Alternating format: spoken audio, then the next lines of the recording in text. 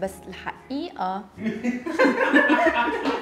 hello guys اجت الصيفية وأكثر fruits العالم بتحبوه هو البطيخ. واليوم رح نحكي عن منافع البطيخ وقديه مهم نكون عم ندخله بالأكل تبعنا. خمس منافع أساسية للبطيخ والهن أول شيء البطيخ بيحتوي على كمية مي مرتفعة 92% وكلنا بنعرف إنه بفصل الصيف الجسم بيكون dehydrated so كتير مهم نكون عم نشرب مي وناخد fruits فيهم كمية مي مرتفعة. تاني شغلة البطيخ فيه كتير nutrients مثل المغنيسيوم والبوتاسيوم فيتامين A وفيتامين C. وبيعتبر low in calories.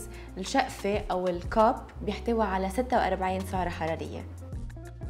ثالث شغلة البطيخ بيحتوي على الليكوبين اللي هو نوع من مضاد للأكسدة ومنلاقيه بأكترية ال red fruits مثل البندورة الجزر الجريب فروت اللي لونها pink والبطيخ. الليكوبين هو anti-cancer وبيساعدنا على تجنب كذا نوع من ال cancer.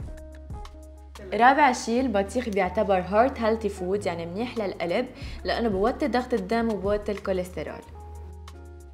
وآخر شيء كمية ال fibers والماي الموجودة بالبطيخ بيسهلوا عملية الهضم. صحيح البطيخ فيه كمية سكر مرتفعة بس للأشخاص اللي عندهم سكري بقلكم فيكم تتناولوه باعتدال يعني تقريبا 1 cup أو 1 piece as snack في كتير أشخاص بفكروا إنه البطيخ فينا ناخده as snack وبس. بس لا فينا نكون عم نقطعه بالسموذي تبعنا بسلطة الفواكه أو مثل هيدي السلطة اللي أنا حضرتها هون. بهيدي السلطة أنا حضرت الركة جبنة الفيتا وقطعت البطيخ. للصوص أنا استعملت balsamic sauce وفيكم تزيدوا مكسرات على الوجه. ان شاء الله تكونوا استفدتوا من هذا الفيديو. ما تنسوا تعملوا like و share وأنا بشوفكم بفيديو جديد. bye.